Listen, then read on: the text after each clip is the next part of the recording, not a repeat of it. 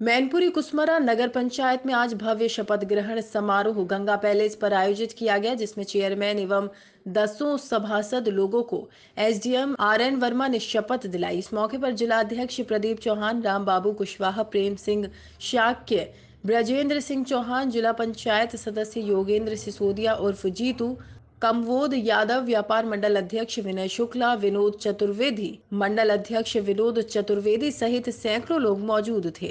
शपथ ग्रहण समारोह के प्रांगण में हज़ारों सम्मानित वोटर मौजूद रहे।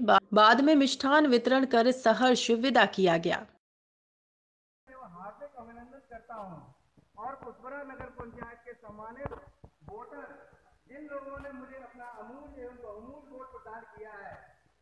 जिन सम्मानित लोगों ने मुझे सहयोग प्रदान किया है उन सभी लोगों के चरणों पर मस्तक रखकर आभार करता हूँ और आश्वासन देता हूँ कि सदा उनकी सेवा के लिए तत्पर रहूँगा।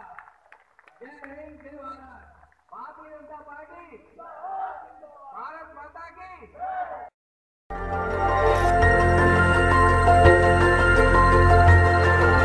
देखते रहिए डीबी भारती समाचार। नज़र हर खबर पर।